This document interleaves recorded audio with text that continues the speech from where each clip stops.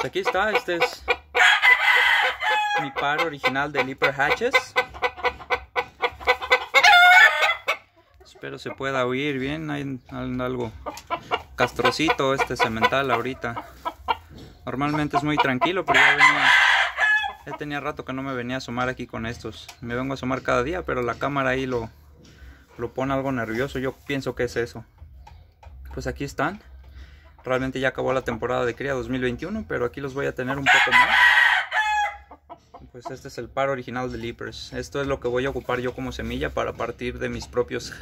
Para hacer mis propios hatch patas verdes. Básicamente la base pues va a ser esto, Leapers. Y les voy a agregar algo de hatch predador. De aquí un hijo. Tengo planeado de lo que un hijo de ellos dos se va a cruzar con la hatch predador.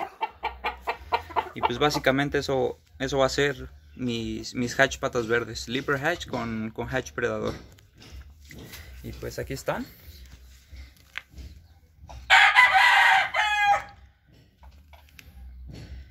Entonces no sé por qué las hembras andan así un poquito de la cara. Como les digo, ya están algo sentiditos porque pues ya acabó la temporada. No me gusta mostrar tanto los animales así. Pero pues aquí les quería mostrar estos. Estos son mis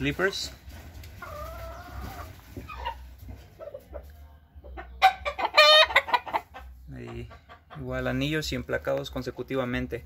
Realmente el origen de mis sleepers pues no es no vienen de a lo mejor un criadero tan reconocido o un criador tan reconocido.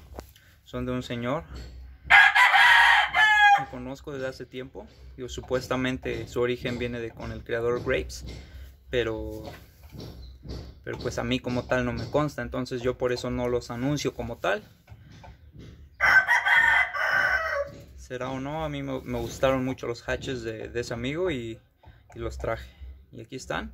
Realmente ya está retirado, le pude sacar todavía este par para mí y pues quería mostrárselos. Este cementalito ya hay videos de él. Pues aquí están.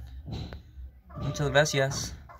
Ahora les voy a dejar el nido a ver si solita se echa. Repito, ya no es temporada de cría, ya yo crío con incubadora y ahora a ver si, si se echa solita. Muchas gracias.